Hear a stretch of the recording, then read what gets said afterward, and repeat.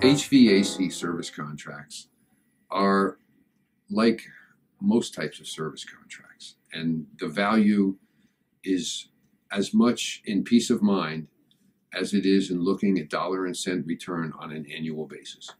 With our service agreements, whether they be HVAC, heating, or HVAC cooling, the customer knows that they are getting, at a minimum, the valuable service of the annual inspection and efficiency evaluation and cleaning and startup every year.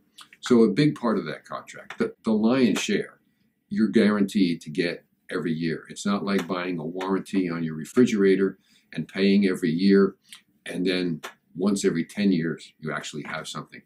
Uh, you're going to get a certain rate of return at each and every year. The marginal difference between the cost of the annual maintenance or startup and the cost of the contract is to cover is to insure against parts replacement and the labor for service calls. So, and it is a marginal amount. So I, I, I again refer you to to yourself and as and that being your comfort comfort level. Do you want to know that the company you're working with, because you have a service agreement, staffs and, and maintains adequate employee coverage, service technician people, that should you call with no heat or no cooling, that someone is going to be out there regardless of time of day or day of week and have your system back up and operating.